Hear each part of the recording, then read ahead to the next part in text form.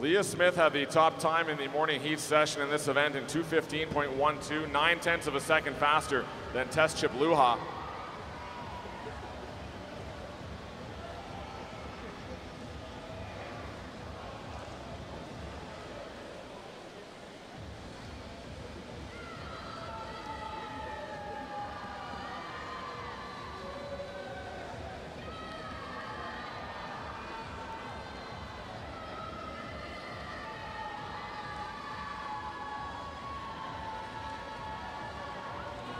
Bella Sims, the early leader ahead of Sarah Stotler.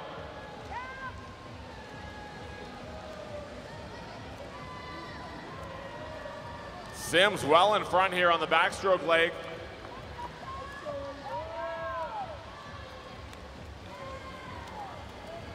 And she will turn in lane number six in a time of 101.56. Second is Smith and third is Fuller. Often see lead changes on this breaststroke leg. We'll see if the field can catch Bella Sims.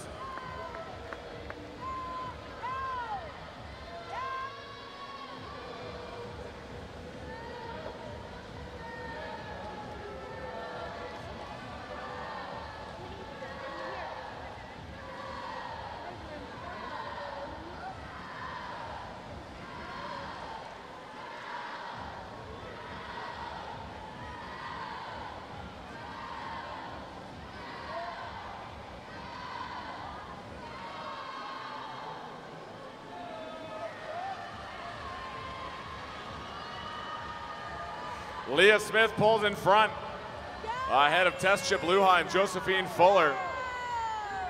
Sims, though, fighting back on this freestyle leg from lane number six.